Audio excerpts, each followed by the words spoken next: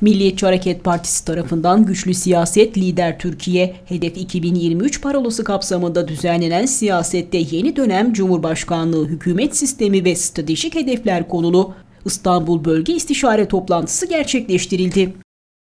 Toplantıya Türkiye Büyük Millet Meclisi Başkan Vekili Celal Adan, Türkiye Büyük Millet Meclisi Grup Başkan Vekili Muhammed Levent Bülbül, Genel Başkan Yardımcıları Edip Semih Yalçın, Fethi Yıldız, İzzet Ulvi Yönter, milletvekilleri, MYK üyeleri Bolu, Edirne, İstanbul, Kocaeli, Kırklareli, Sakarya, Tekirdağ ve Düzce il başkanları, il yöneticileri, ilçe başkanları ve yöneticiler katıldı.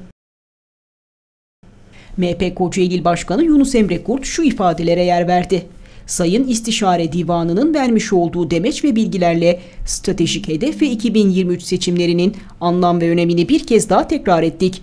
Bugün yapılan toplantıya atanmamızdan itibaren Kocaeli Teşkilatımızın yükselen başarısına uygun olarak kalabalık ve disiplinli bir şekilde katıldık. Sayın başkanlarımızın tebrik ve takdirini tüm Kocaeli'de yaşayan ülkücüler adına aldım. Teşkilatlarımla gurur duyuyorum. Kocaeli MHP her zaman en iyisini hedefleyecektir. Liderimiz Doktor Devlet Bahçeli'nin talimatları doğrultusunda daha çok çalışacağız ve Kocaeli'de Milliyetçi Hareket Partisi olduğunu bir kez daha göstereceğiz.